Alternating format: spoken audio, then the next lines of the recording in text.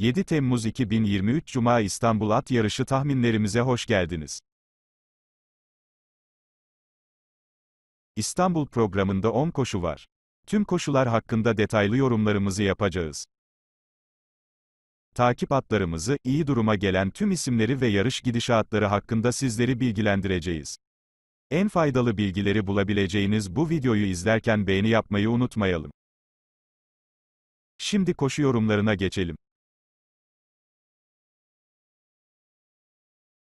Birinci koşu.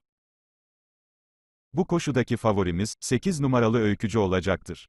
Öykücü, çim pist yarışlarındaki mücadeleci özelliği ile dikkat çekiyor. Ercan Çankaya idaresindeki son yarışında, çok iyi yer tutmuş ve düzlükteki atakları ile sonuç almaya çalışmıştı.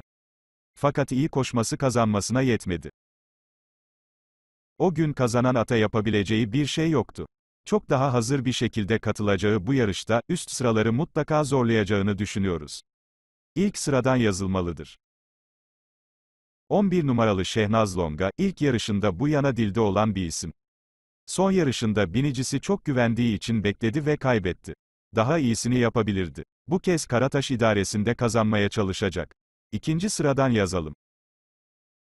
5 numaralı Keferkup Hanımı takip atımızdır. Bugün Seden kız ile inatlaşmadan liderliği alır veya ilk ikide ağır tempoda yarışı sürdürürse, kazanma şansı artar. Kuponlarda olsun. Son olarak, ilk yarışında idman durumundan bahsettiğimiz 6 numaralı Monaroza'yı yazalım. Çok iyi görüntüsünü yansıtırsa sürpriz yapabilir demiştik. Bugün Çin pistte denenecek. Gökhan Gökçe idaresinde beklenenin üstünde bir performans gösterebilir. Buranın sürprizi olarak kuponlara işaretleyelim. Bu koşudaki rakamsal sıralamamız 8, 11, 5, 6 şeklindedir.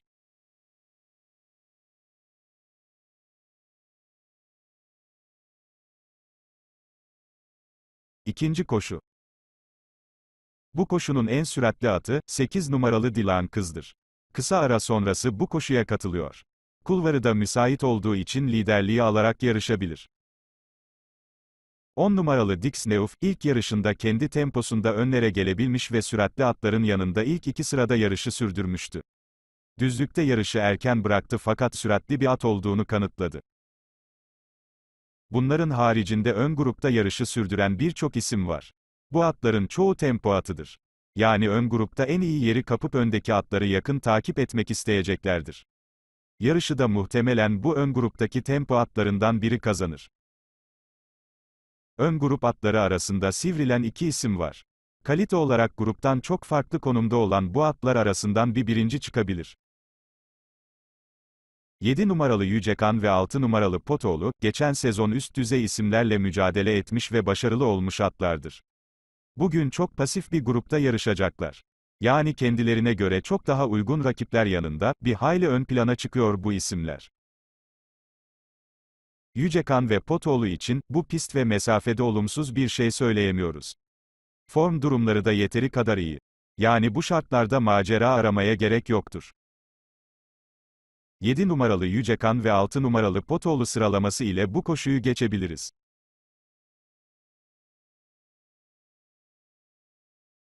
WhatsApp hattımız aktif edildi. WhatsApp hattımızın birçok faydası var. Bildiğiniz gibi biz yorumlarımızı yarışlar başlamadan 24 saat önce hazırlıyoruz. Bazı atların son durumlarını öğrenemediğimizde son dakika bilgilerini video aracılığı ile aktaramıyoruz. WhatsApp hattımız üzerinden bu son dakika bilgileri anlık olarak sizlere bildiriliyor. Ayrıca video izlemeye zaman bulamayanlar için de WhatsApp hattımız faydalı olacaktır. WhatsApp hattımıza abone olarak elde edeceğiniz ayrıcalıkları anlatalım. Yarış yorumlarını her gün WhatsApp üzerinden yazılı olarak alabilirsiniz. Videolarda bulunmayan şablon sunumu ve son dakika bilgileri yarışın yapılacağı gün sabah saatlerinde sizlere iletilir. Reklamsız bir şekilde tüm yorumları, güncel bilgileri ve şablonları WhatsApp üzerinden almak isterseniz 0542 832 1444 numaralı WhatsApp hattımızı eklemeniz yeterli.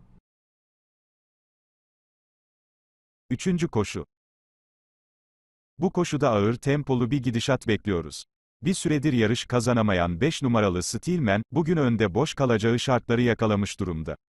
En son kazandığı yarıştaki gibi üst düzey formunu koruyan Steelman, sürekli stili rakiplere denk geliyor ve tempodan dolayı kaybediyordu. Bu kez lehine şartlarda çıktığı gibi bitirebilir.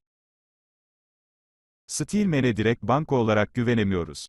Çünkü rakipleri stilini iyi biliyorlar. Özellikle Vedatlı Göğüsgeren'in bu kez önlere yakın gideceğini tahmin ediyoruz. Flandoz'da ön grupta yarışı sürdürebilir. Biz Steelman'in yanına, kalitesinden dolayı bir numaralı Göğüsgeren'i ve aprantisinden dolayı da 4 numaralı Ganando Solo'yu yazmak istiyoruz. Göğüsgeren, ara sonrası ilk yarışına yeterli hazırlıklarla katılacak. Daha önce çok kez dinçlik yarışı yapan ve genelde iyi koşan bir isimdir. Dinçlik yarışlarında kazanmışlığı da vardır. Vedat idaresinde Steelman'i elinden kaçırmayacak derece yakın takip ederse, düzlükte ona hakim olup kazanabilir. Kuponlarda mutlaka olsun. Ganado Solo ise Berkan Çığla idaresinde 3'te 2 yaptı. Çok güzel bir uyumları var ve Steelman ile daha önce yarıştığı için, bu kez hata yapmayacaktır. Etkili bir düzlük sprinti ile kazanan olabilir.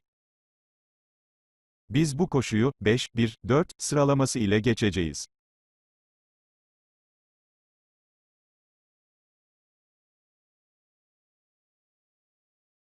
Dördüncü koşu. Bu koşuda start alan 4 tayda yarışlarında liderliği isteyen hafif süratli isimlerdir. Bunlardan 4 numaralı Yaparsın Kızım ve 1 numaralı Ride the Lightning diğerlerinden biraz daha erken hızlanan taylardır. Bu tip yarışlarda kulvar avantajı çok büyük önem taşıyor.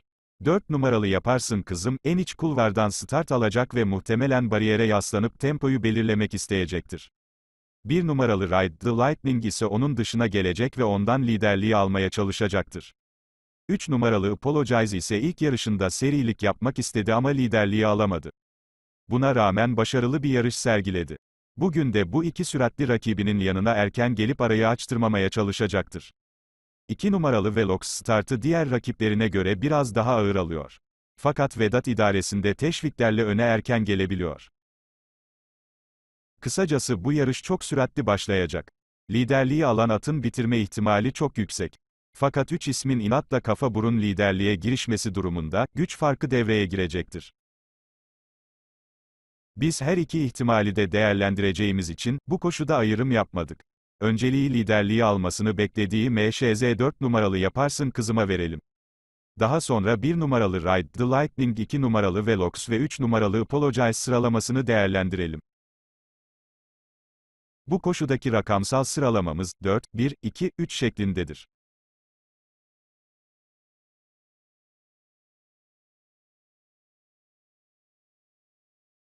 Beşinci koşu. Bu koşuda liderliği 9 numaralı Kelebek Kaya alacaktır. Bu safkanın stili bir rakibi yok. En iç kulvardan yarışa başlayacak ve üzerinde Saadettin Boyraz olacak. Liderliği alıp Beyer'e yaslanarak yarışması durumunda, çıktığı gibi bitirme ihtimali yüksektir.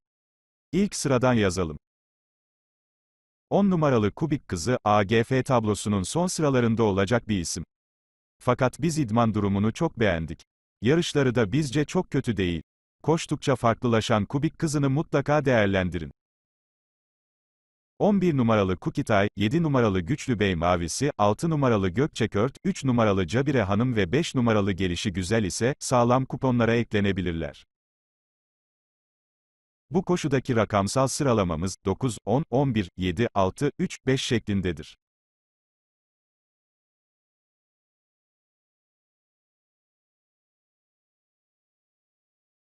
Altıncı koşu. Bu koşuda süratli bir tempo beklemiyoruz.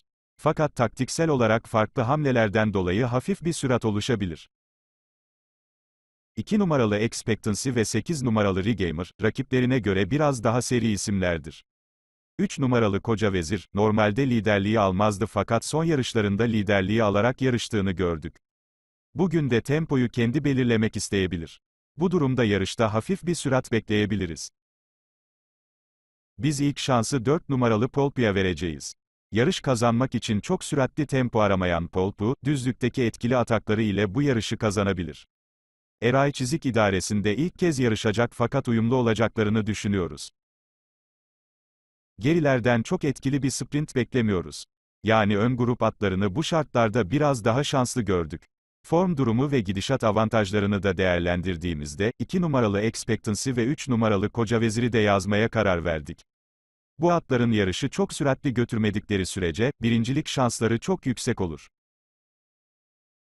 Bu koşudaki rakamsal sıralamamız, 4, 2, 3 şeklindedir.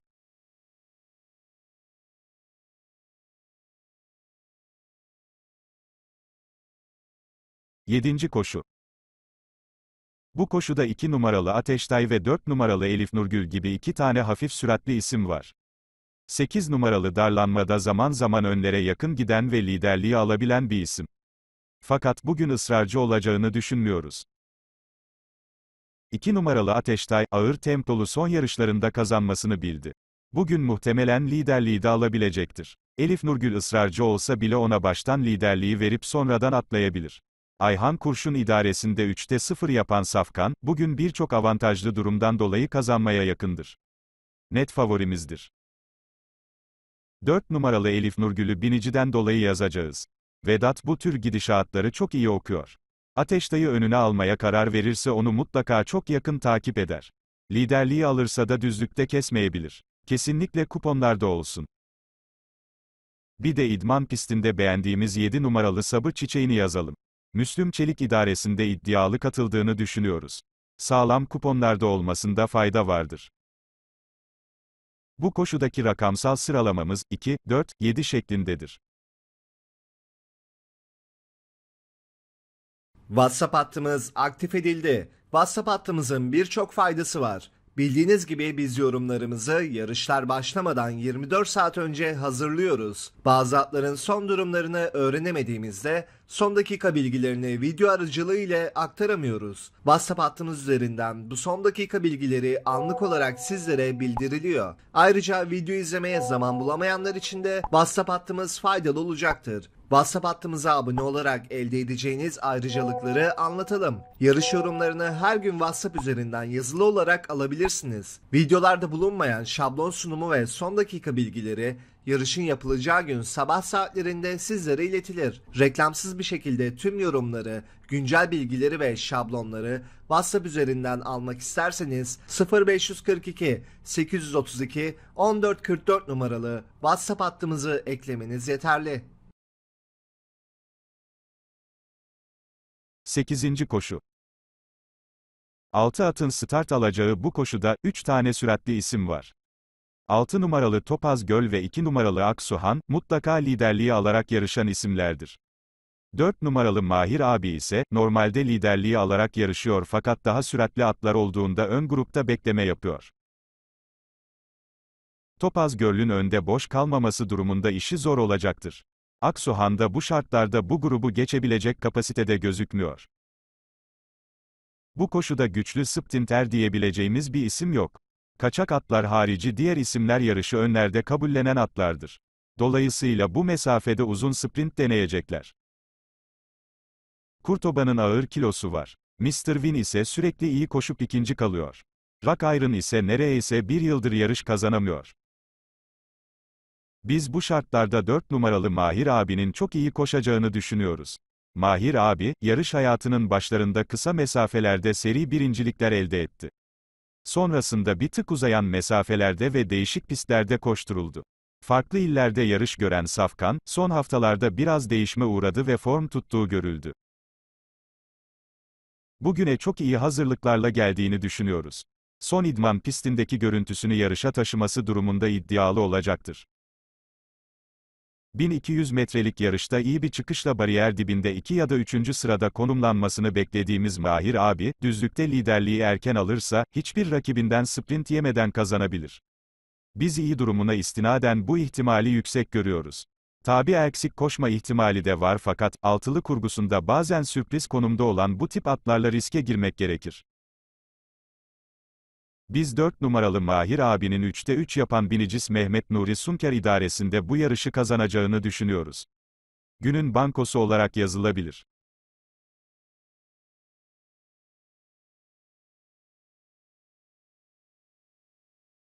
Dokuzuncu koşu.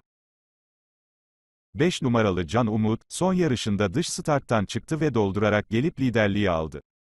Liderliği almakta zorlanmadı ve yarışı ağır tempoda götürünce son metrelere kadar lider geldi. Fakat son anda içinden güçlü gelen rakibine direnemedi. Bugün iki numaralı kulvardan çıkacak ve süratli hiçbir rakibi yok. Dolayısıyla kolaylıkla tempoyu belirleyecektir. Çok daha hazır katılacağı bu yarışta, kazanma ihtimali çok yüksektir. Bizim net favorimizdir. İlk yarışını görmezden gelebileceğimiz 6 numaralı Derya Kızı, bu kez mükemmel işlerle bu yarışa katılıyor. Beklentilerin yüksek olduğu bu safkanı mutlaka kuponlarınızda bulundurun. 4 numaralı Bayındırlı Kız, ilk yarışında en dış kulvardan çıkış yaparak hızlıca önlere gelmişti. Yarışı da çok diri bir şekilde ikinci bitirdi. Bursa'daki bu performansını İstanbul'da da sergileyebilir. Sağlam kuponlara eklenebilir. Bu koşudaki rakamsal sıralamamız 5, 6, 4 şeklindedir.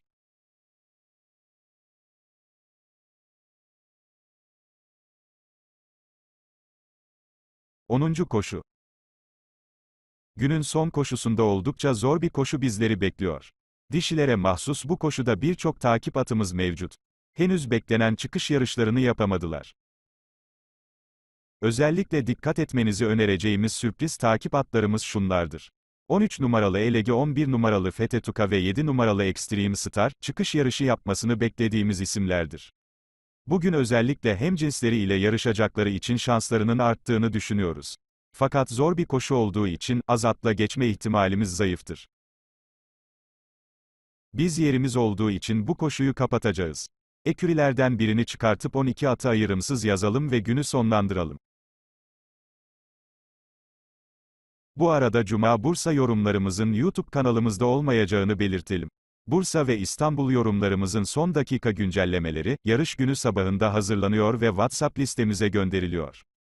Siz de katılmak isterseniz, 0542 832 14 44 numaralı WhatsApp hattımızı ekleyip bilgi isteyiniz. Yorumlarımızı okuyup değerlendirirken, kendi tuttuğunuz isimlere yer vermeyi unutmayınız. Yayınlarımızı beğeniyorsanız, teşekkür butonu ile bize destek olabileceğinizi belirtmek isteriz.